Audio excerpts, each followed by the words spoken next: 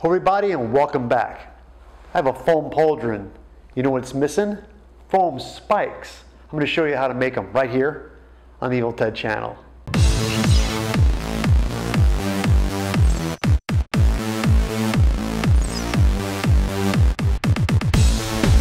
This video is sponsored by TNT Cosplay Supplies, a great resource for foam for your cosplay building needs. Now, let's get started. Right, here's my spike. I made myself a poster board template. It's five inches long with an inch and a half wide base, and I'm going to make this out of foam using 10 millimeter uh, foam I got from TNT Cosplay. Thank you so much. And what I'm going to do is go ahead and cut a strip the exact width of my spike um, lay it down. Now realizing this is going to be a four-sided spike, I need to stack this foam uh, four times tall. So I'm going to do that. I'm going to cut these guys the length they need to be. So I discovered when you're doing that, always go above the spike itself. All right. Now I cut these. I'm going to go ahead and cut four more of these.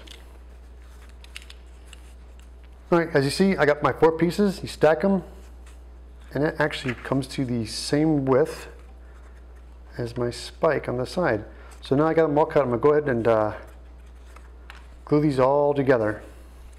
Now, being this is raw foam, um, which is this foam is so great, it's very porous. So I always discover that it's good just to put on one coat, let it dry a little bit, and put a second coat. So definitely two coats of glue to stick these pieces together.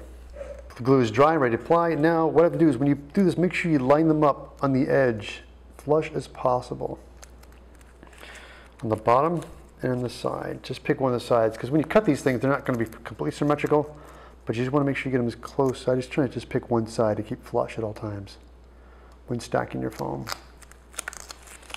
Okay, now I got them all stacked. This is where I take my um, template, lay it up, get my straight pin,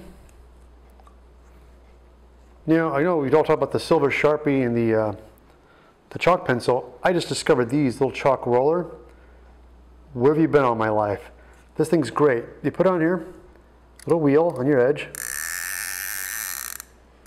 and voila, look at that. I'll never use a silver Sharpie again. Now that we got this, let's go ahead and cut this on the bandsaw. Now, before I start cutting this out, I always like to cut on the outside of the white line. Not actually on the line, but I actually like to go just outside the white line.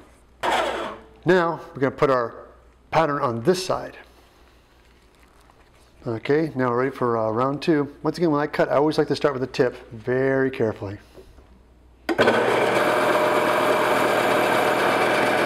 Ta-da, there is our four-sided spike. Now we got this.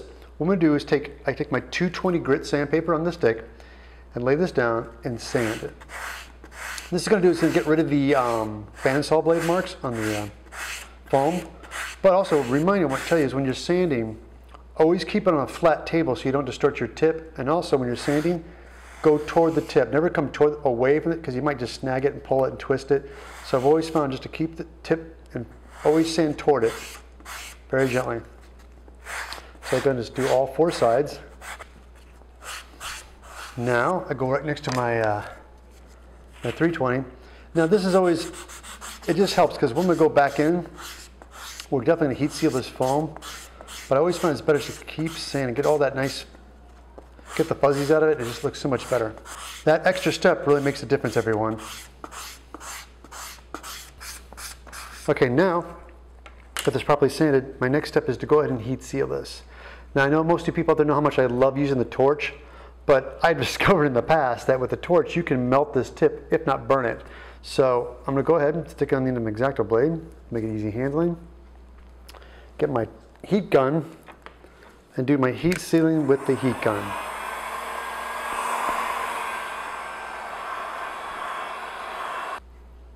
There it is, my four-sided spike. Um, nice and sharp tip, got it all heat sealed, ready to go. Uh, for the pauldron I'm making, turns out I need nine more of these. So I gotta do this nine more times. Wash, rinse, and repeat. There they are, the foam spikes. Already cut and ready to go. Now, if you're going to stick them onto a flat piece of armor, you're good to go. But right now, my armor, I have a shoulder, everything's curved. So what I'm to do is I'm going to concave these in. As a matter of fact, I'm going to show you that technique. I'm gonna, I like to lay my spikes down at like a triangular formation. Square, not so exciting, but you do a little bit of an angle so you can see the edges, much more exciting. So I'm going to Dremel deep into the center all the way to the edges, but I always like to start with one side just to make everything symmetrical. I start with this side first.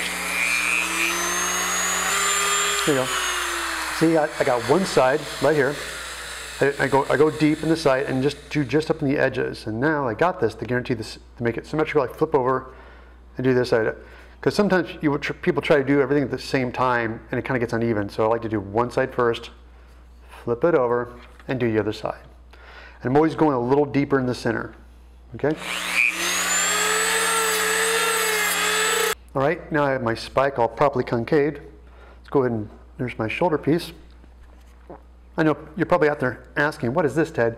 This is Kwik Seal. As a matter of fact, I did a video on that, on how to make uh, clean seams right here. Definitely check that out. Now, back to the shoulder. What had and at the concave, let's go into a test fit. See how it sits on there? Nice and flush. Now I got this, I'm gonna go ahead and uh, let's do the rest of the spikes and uh, figure out my placement of where I'm gonna put these. Okay, I went ahead and found my placement for my spikes and I'm gonna go ahead and brush on my, uh, my barge cement. The, um, as I put the glue in, I always like to go past my Sharpie lines just to get a guaranteed lock. I always, because sometimes people don't want to go over their spots. I always find it's easier just when you're putting glue on. Some people like to go right to the edge, and I think it's just always safe to go a little bit beyond it. If you get a guaranteed lock, because sometimes foam has a tendency to move when you're gluing things down, so you just want to compensate. Okay, now the glue is dry, just where the fun, the fun starts. Got my spike, line it up, where my mark? The best part, the very top.